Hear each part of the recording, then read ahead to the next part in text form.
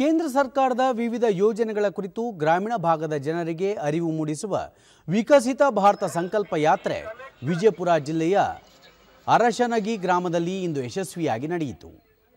ಇದೇ ವೇಳೆ ಸಾರ್ವಜನಿಕರಿಗೆ ಪ್ರತಿಜ್ಞಾವಿಧಿ ಬೋಧಿಸಿ ಯೋಜನೆಗಳ ಕುರಿತು ಅರ್ಹ ಫಲಾನುಭವಿಗಳಿಗೆ ಮನವರಿಕೆ ಮಾಡಲಾಯಿತು.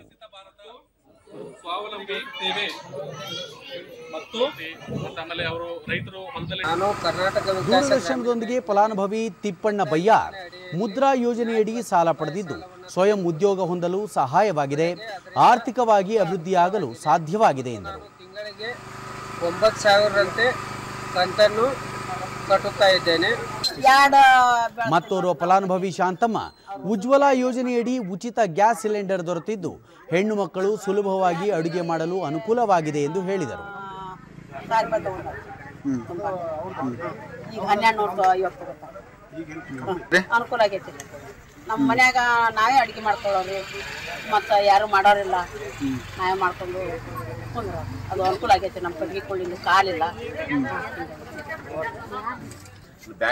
ಭಾರತೀಯ ಸ್ಟೇಟ್ ಬ್ಯಾಂಕ್ನ ಅಧಿಕಾರಿ ಈರಪ್ಪ ಚಿಮ್ಮಲಗಿ ಕೇಂದ್ರ ಸರ್ಕಾರದ ಸಾಮಾಜಿಕ ಭದ್ರತಾ ಯೋಜನೆ ಸೇರಿದಂತೆ ವಿವಿಧ ಯೋಜನೆಗಳ ಕುರಿತು ಗ್ರಾಮಸ್ಥರಿಗೆ ಮಾಹಿತಿ ನೀಡಲಾಗುತ್ತಿದೆ ಎಂದು ತಿಳಿಸಿದರು. ಪ್ರಧಾನಮಂತ್ರಿ ಜೀವನ ಜೀವ ಜ್ಯೋತಿ ವಿಮಾ ಯೋಜನೆ ಮತ್ತೆ ಸ್ವಸಹಾಯ ಸಂಘಗಳಿಗೆ ಸಿಗ್ತಕ್ಕಂಥ ಸಾಲಗಳ ಬಗ್ಗೆ ಮುದ್ರಾ ಸಾಲಗಳ ಬಗ್ಗೆ